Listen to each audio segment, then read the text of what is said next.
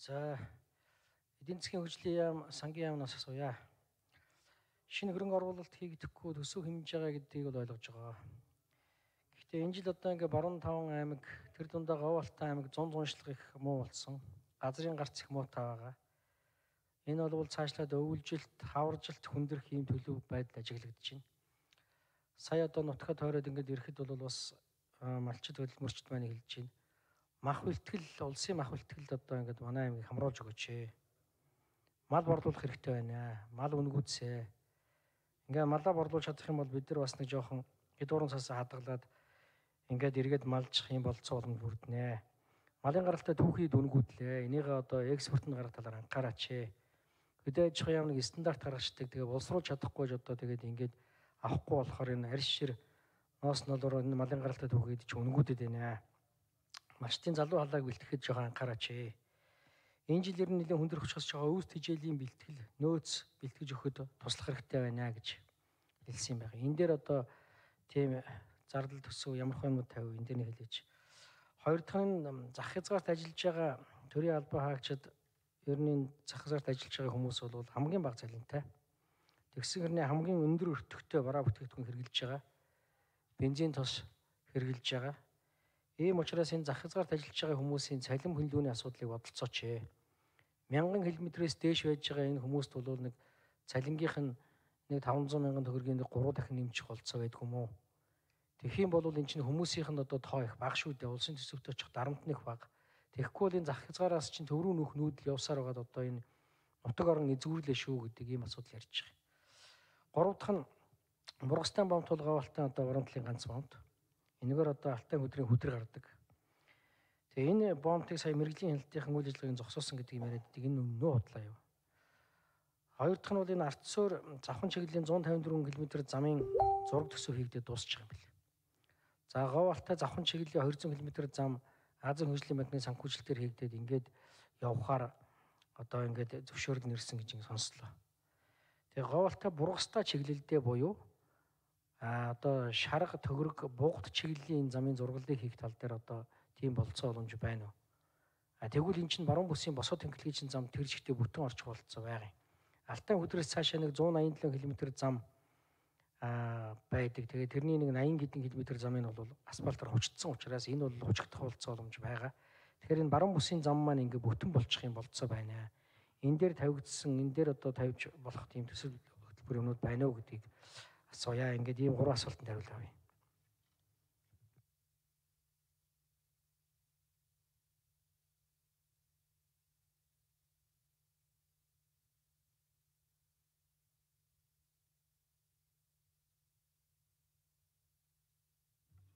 Найд дээр.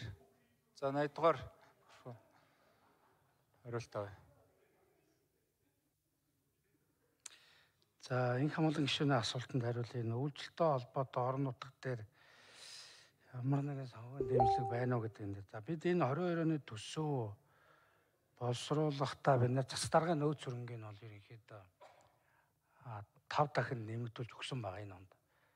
Энэ оны төсөвдөр. За ингээд цас дарга нөөц хөрөнгийг нэмэгдүүлж өгсөнтэй холбоотой сангийн яамнаас 8 сард 9 сард бүх аймгийн засаг дарганд бол албан тод явуулсан. 8 сард юм байна. За үйлчлэлтийн байдалтай ингээд онцгой анхаараач. За ингээд аймагуудаа өөрийнхөө нөөц боломжийн цацраг нөөц хөрөнгө нэмэгдүүлж өгсөн. Энэ үргэндээ ажлаа өөрсдөө зохион байгуулаа.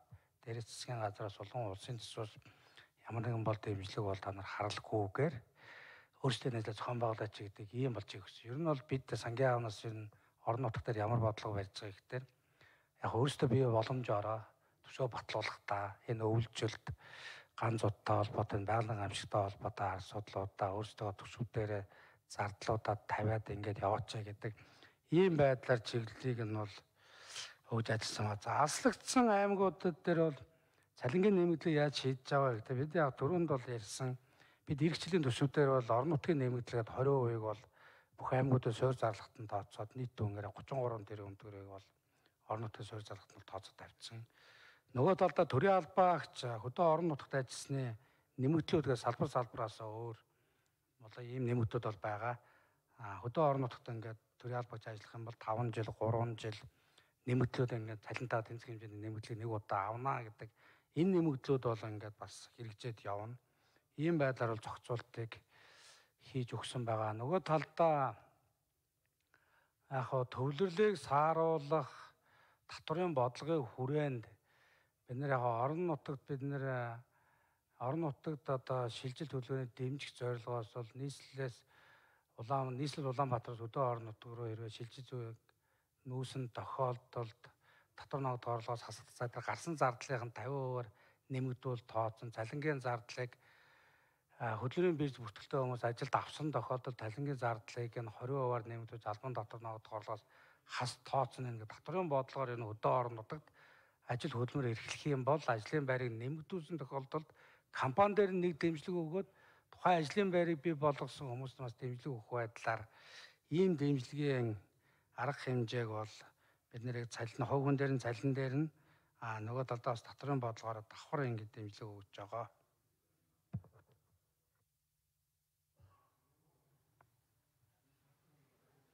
Тодруулах юм уу? Эдийн засгийн хөгжлийн яамнаас нэмэх юм уу? За 80 80 дугаар 81 дугаар микрофон дээр.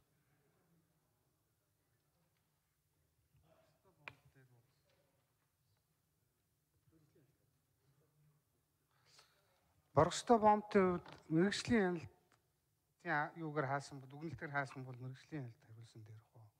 Яг энэ дээр манай яамн дээр бол яг тийм тодорхой мэдээлэл. За 93 дугаар микрофон дээр баасан дорч дарга хариул.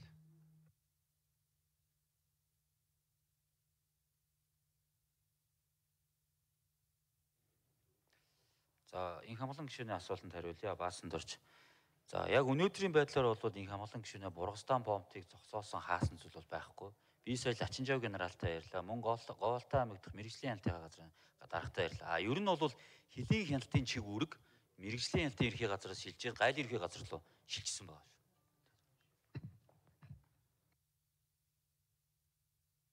За улсын хурлын гишүүн бүх чөлөөний пүрэвд орж асуулт асууна.